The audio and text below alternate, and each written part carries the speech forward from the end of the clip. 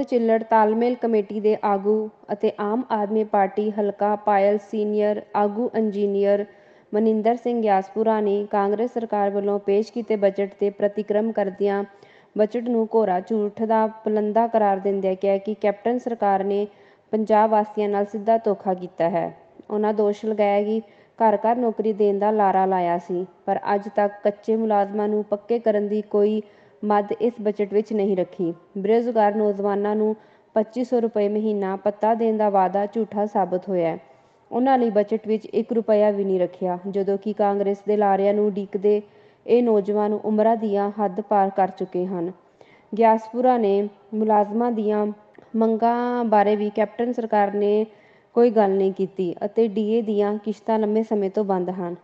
ਕਿਸਾਨੀ ਦਾ ਸਮੁੱਚਾ ਕਰਜ਼ਾ ਮਾਫੀ ਅਤੇ ਦਲਿਤ ਖੇਤ ਮਜ਼ਦੂਰਾਂ ਦੇ ਕਰਜ਼ੇ ਦੀ ਮਾਫੀ ਬਾਰੇ ਅੱਜ ਲਾਰਿਆਂ ਦਾ ਬਜਟ ਹੀ ਰੱਖਿਆ ਜਾਪਦਾ ਹੈ। ਉਲਟਾ ਬੱਚਿਆਂ ਦੇ ਸਕਾਲਰਸ਼ਿਪ ਦੀ ਰਾਸ਼ੀ ਕਥਿਤ ਤੌਰ ਤੇ ਘਪਲਿਆਂ ਵਿੱਚ ਰੁਲ ਗਈ। ਉਹਨਾਂ ਕਿਹਾ ਕਿ ਨੌਜਵਾਨ ਪੀੜ੍ਹੀ ਦਾ ਸਮਾਰਟਫੋਨ ਦਾ ਸੁਪਨਾ ਵੀ ਅਧੂਰਾ ਪਿਆ ਹੈ। ਉਸ ਦਾ ਵੀ ਇਸ ਬਜਟ ਵਿੱਚ ਜ਼ਿਕਰ ਨਹੀਂ ਕੀਤਾ। ਉਹਨਾਂ ਕਿਹਾ ਕਿ ਮੁੱਕਦੀ ਗੱਲ ਕੈਪਟਨ ਸਰਕਾਰ ਬਜਟ ਵਿੱਚ ਫੇਲ ਸਾਬਤ ਹੋਈ ਹੈ ਅਤੇ ਕੈਪਟਨ ਸੱਤਾ ਵਿੱਚ ਰਹਿਣ ਦੇ ਯੋਗ ਨਹੀਂ ਰਹੇ।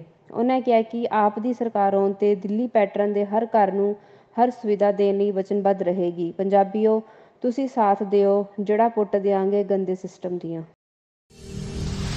ਆਉਣ ਵਾਲੀ 4 ਅਪ੍ਰੈਲ 2021 ਦਿਨ ਐਤਵਾਰ ਨੂੰ ਵਿਰਸਾ ਸੰਭਾਲ ਗੁਰਮਤਿ ਪ੍ਰਚਾਰ ਸੁਸਾਇਟੀ ਵੱਲੋਂ ਗੁਰਦੁਆਰਾ ਸਾਹਿਬ, ਭਿੱਖੀ ਜ਼ਿਲ੍ਹਾ ਮਾਨਸਾ ਵਿਖੇ 200 ਪਿੰਡਾਂ ਦੇ ਬੱਚਿਆਂ ਦਾ ਗੁਰਬਾਣੀ ਮੁਕਾਬਲਾ ਅਤੇ ਮਹਾਨ ਗੁਰਮਤਿ ਸਮਾਗਮ ਕਰਵਾਇਆ ਜਾ ਰਿਹਾ ਹੈ।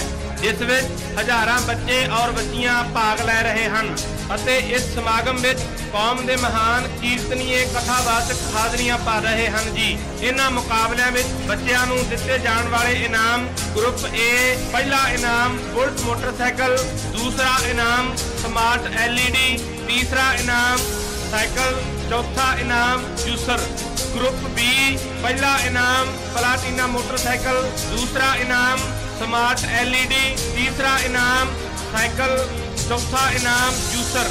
ਸੋ ਆਪ ਦੇਸ਼ ਅਤੇ ਵਿਦੇਸ਼ ਦੀਆਂ ਸਿੱਖ ਸੰਗਤਾਂ ਨੂੰ ਨਿਮਰਤਾ ਸਹਿਤ ਬੇਨਤੀ ਹੈ, ਇਹਨਾਂ ਮਹਾਨ ਸਮਾਗਮਾਂ ਵਿੱਚ ਵੱਧ ਚੜ ਕੇ ਸਹਿਯੋਗ ਦਿਓ ਜੀ। ਸੇਵਾ ਭੇਜਣ ਲਈ ਸਕਰੀਨ ਉੱਪਰ ਸੰਸਥਾ ਦੇ ਸੰਪਰਕ ਅਤੇ ਅਕਾਊਂਟ ਨੰਬਰ ਦਿੱਤੇ ਗਏ ਹਨ। ਸੋ ਇਹ ਸਮਾਗਮ ਆਪ ਸਰਬੱਤ ਸੰਗਤਾਂ ਦੇ ਸਹਿਯੋਗ ਨਾਲ ਹੀ ਨਿਪਰੇ ਚੜ ਸਕਦੇ ਹਨ। ਸੋ ਵੱਧ ਤੋਂ ਵੱਧ ਸਿੱਖ ਸੰਗਤਾਂ ਸਹਿਯੋਗ ਦਿਓ ਜੀ।